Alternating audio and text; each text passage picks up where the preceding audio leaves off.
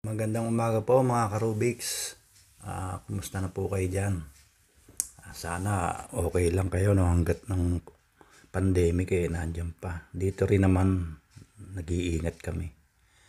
At sa mga kabatang helmet, maraming maraming salamat po sa inyo.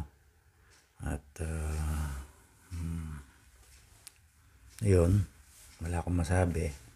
Okay, ang papakita ko lang sa inyo ngayon sa mga dati ng marunong no itong parity na to, pwede ko itong tawagin parity to eh, ng torsion cube. At nangyayari din tong ganito sa Fisher cube o windmill. Alin sa dalawa doon. Kasi minsan binuo ko to, lumalabas din pala, kala ko kasi hindi. Eh, ngayon papakita ko lang sa inyo, i-share ko kung na itong itong baliktad na to, masosolve natin. Okay? Ang, ang forma niya, ganyan, nandito yung nandito yung ano, yung baliktad. Kasi kailangan yung dilaw mapunta doon sa taas eh. Yan, kaya ang gagawin lang natin, simpleng algorithms lang. Ganyan forma, ganyan. Naka right side tong parity na to. Ganyan lang. R U R prime U prime R U R prime U tapos ikot mo yung cube na ganon tapos R prime U prime R U R prime, U prime, R. Ayan, nabaliktad na natin. No?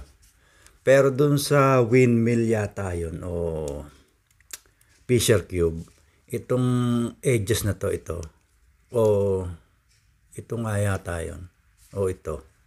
Bumabaliktad yan. Ang technique lang doon, iganyan nyo. Kung halimbawa ito yung bumaliktad, ganyan nyo lang tignan nyo kung pag ang ikot eh pa counterclockwise, i-reverse nyo yung algorithms. Gawin yung counterclockwise. Pag ganyan. Tatlong beses.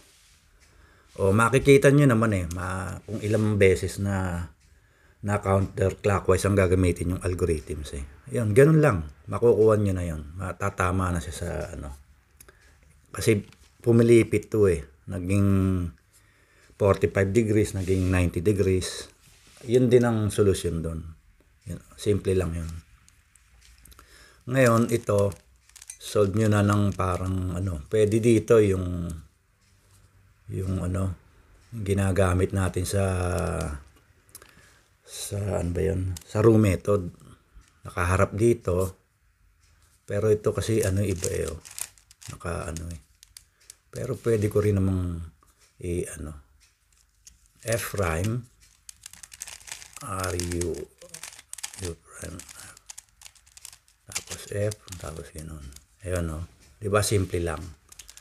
Tapos tapat mo sa kulay niya tingnan mo na lang kung alin ang hindi tumama.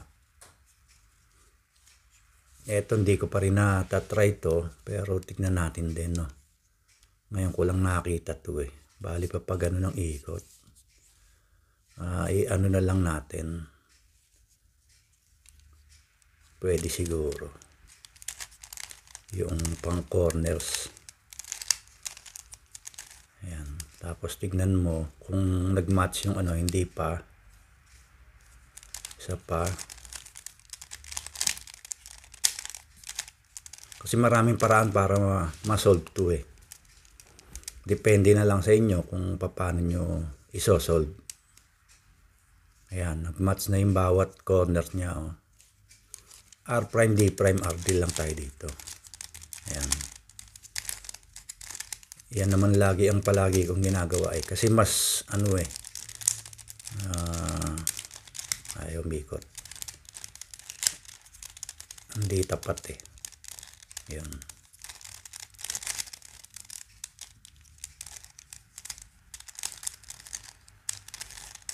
Dapat yung dilaw mapunta doon sa taas. Yan. Tapos yun naman kabila. Yan, puro ganun lang. Pero sa mga speed cuber, ah, al- alam nyo na to, hindi, maraming way nga ang pagbuo ng ano eh, di ba? Ang pagbuo ng cube eh. Kaya depende depende rin sa inyo kung paano nyo na iwewe yung ano nyo, ang cube nyo para mabuo. Sa mga non-speed cuber, ka- kagaya ko, eto.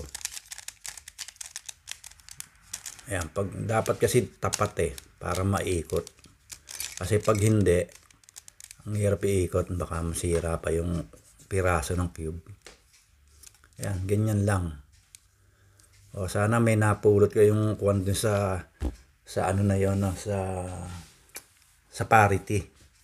Nagagamit din kasi yon sa ibang paraan eh. Kaya mm, pwedeng yun, may malaking tulong din. O pa- paano mga karubiks at mga ingat kayo ha, mga kabatang helmet. Maraming maraming salamat po sa inyo. Ingat po tayo palagi. Bye-bye.